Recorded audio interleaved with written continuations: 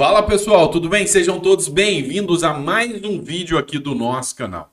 Pessoal, hoje eu vou trazer um ponto bem específico para você. Ontem a gente teve vitória, teve coisa boa.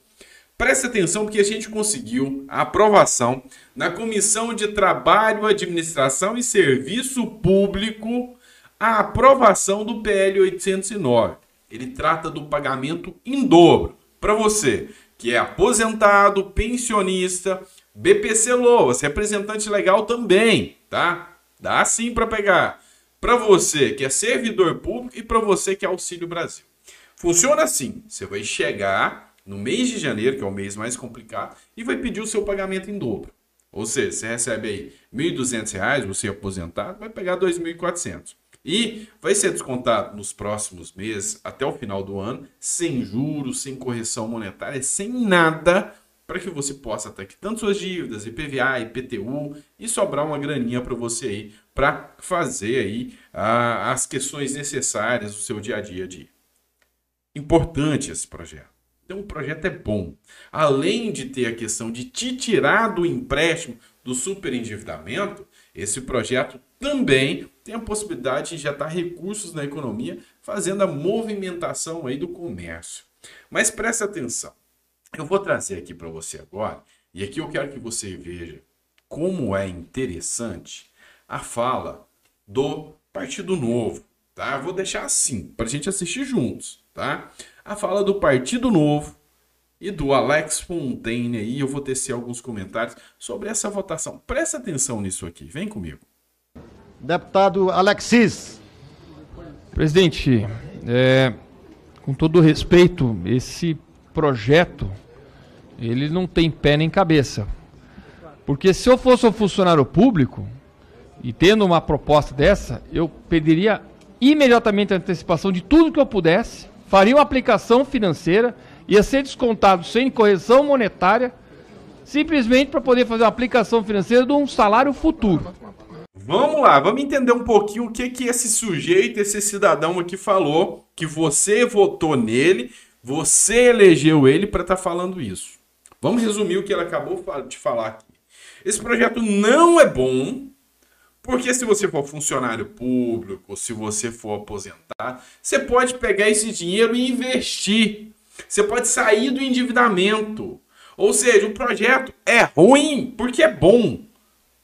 É duro a vida desse tipo de deputado. É duro. Porque o que ele queria dizer mesmo é que não, não aprova esse projeto porque ele é ruim para banco. Porque o banco tem que emprestar dinheiro e ganhar juro nas suas costas.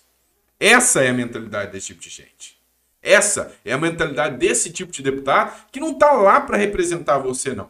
Está lá para fazer, sim, lobby contra você e contra os projetos que a gente apresenta e que vão ajudar sim a população brasileira. Resumindo, quanto pior, melhor, né? Quanto mais lascado você tiver, quanto mais ferrado você tiver, quanto mais endividado você tiver e dependente do banco, melhor para esse tipo de deputado que não representa o povo brasileiro. É uma vergonha, é vexatório saber que tem representantes que se dizem representantes do povo lá com esse tipo de mentalidade, com esse tipo de pensamento. Vem cá, tem mais coisa para você. Segundo ponto, as despesas do governo regem um fluxo de caixa, tem entradas para poder ter saídas. Se todo funcionário público pediu adiantamento, cadê o recurso para poder cobrir isso? Porque... Eu te respondo mais uma vez, deputado. O fluxo de caixa e o orçamento, ele é previsto com base em alterações de ano. Vamos lá. Talvez você não entende disso, mas eu vou te explicar, tá? Ó, todo o pagamento que é previsto para 2023, todo o pagamento que é previsto para 2023, ele tem que estar tá no orçamento em 2022. E o dinheiro vai entrando, de acordo que vai entrando em impostos, para deixar o fluxo para o próximo ano, você já faz uma reserva, deixa essa reserva separada e preparada através de lei. Você sabe o que é lei? Talvez saiba, né? Vamos lá, através de lei a gente já deixa essa possibilidade em que no ano de 2023, por exemplo, já fica a reserva de contingente para pagamento no próximo ano. Ou seja, o dinheiro já vai estar separado. E segunda coisa, é facultativo, meu amigo. É facultativo. Ou seja, você já pensou? O governo vai deixar o dinheiro separado, reservado. E se o aposentado não pegar, se o servidor não pegar o Auxílio Brasil, não pegar o adiantamento, o pagamento em dobro, vai sobrar recurso e vai sobrar caixa que o governo vai poder investir ou então até aplicar para que no final do ano tenha um recurso maior. Será que deu para entender ou falei muito complexo para Vossa Senhoria? Fala aí para mim. Os impostos vão ser recolhidos no futuro para pagar despesas no futuro. Então, um desarranjo completo do fluxo de caixa do governo, inclusive. Portanto, entendo a intenção de querer pagar despesas iniciais, mas cada um que faça as suas reservas. Entendo a intenção de querer fazer o bem, mas se não afeta o banco, cada um que faça as suas reservas. Se individe, pegue dinheiro emprestado com o banco, né? Não é o governo que vai ficar adiantando o salário e depois descontar sem nenhum desconto, nenhuma correção, nenhum custo do dinheiro para um funcionário fazer uma aplicação financeira. Então me desculpa, mas o, a intenção é uma, a reação é completamente diferente.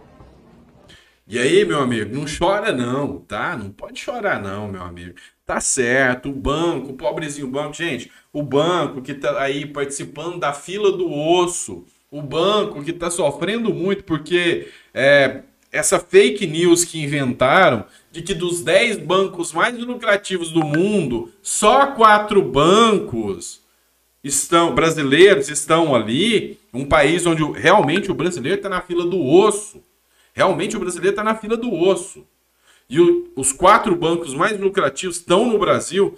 Sabe por quê? Porque existe deputado, existe representante lá dentro em que foi eleito para isso, para defender interesse de banco eu não vou admitir, sem demonstrar aqui com toda clareza, que existem pessoas como essa que, diante de um projeto tão bom, tão bem esclarecido, tão bem feito, vão se levantar aqui para defender o interesse dos outros. O povo brasileiro precisa de ter dignidade. O povo brasileiro precisa sim de ter valorização. E é contra isso que esse deputado tá correndo, tá batendo. Só faltou ele falar aqui, olha, eu vou votar contra, o projeto é ruim, porque o projeto é bom, porque ele tira dinheiro dos bancos. Ou melhor, ele não tira dinheiro dos bancos, ele impede que os bancos explorem o cidadão brasileiro, explorem o aposentado, o pensionista, o servidor público, o Auxílio Brasil e o BPC. Eu fico realmente indignado. É aviltante você ver que existem pessoas ainda com essa mentalidade arcaica de defender banqueiro de defender que é ruim o cidadão poder sobrar recurso no bolso dele para fazer aplicação. Não se justifica uma mentalidade tão repugnante quanto essa. Tá? Não se justifica. É, sabe? É enojante. Essa é a palavra que eu posso usar, tá?